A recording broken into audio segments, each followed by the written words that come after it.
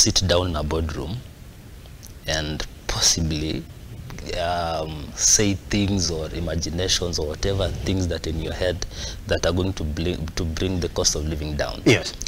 Um, the government has asked the opposition not once, what, what options, what alternatives do you have to our manifesto? What alternatives do you have to your finance bill? What alternatives do you have to bring down the cost of living?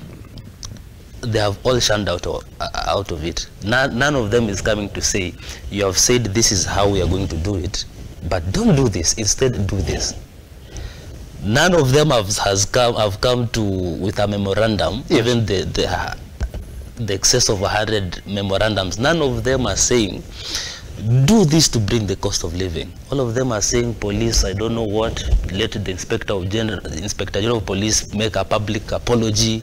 I don't know uh, ipoa do this and that. None of them is talking about the cost of living which is basically so essential which is the the backbone of of the protests of Azimio because without that article of cost of living, none of us citizens will be thinking about Azimio. So they have used it as a backbone mm. to, to tickle, to Yes. provoke the Mwananchi into thinking that these people actually care about us, so let's go out in the streets. They don't care about that. Now, um, like you said, some of these uh, objectives are, are bigger than just having a conversations. They could take longer. Some of these objectives are constitutional. Some of these objectives cannot be solved in a boardroom by members that are um, non-parliamentary. Like we have two members in each in each side As who are. Um, I don't want to say common people, but they are non-governmental or they are non-parliamentary representatives.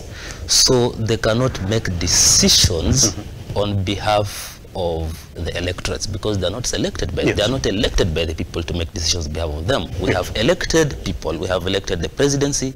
We have elected the, both the upper house and the lower house to